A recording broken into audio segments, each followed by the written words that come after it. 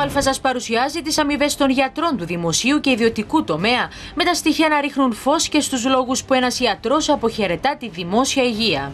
Ξεκινώντας με το δημόσιο τομέα, ένας νέος ερχόμενος γιατρός πρώτης τάξης κλίμακας Α11 αμείβεται με το ποσό των 2.400 ευρώ περίπου. Στο μισθό του προστίθεται και ένα σημαντικό ποσό για τις εφημερίες που κάνει κάθε μήνα. Ο βοηθός διευθυντής ενός τμήματος αμείβεται με το ποσό των 4.120 ευρώ και παίρνει επιπλέον χρήματα από τις εφημερίες καθώς και 1.000 ευρώ επίδομα.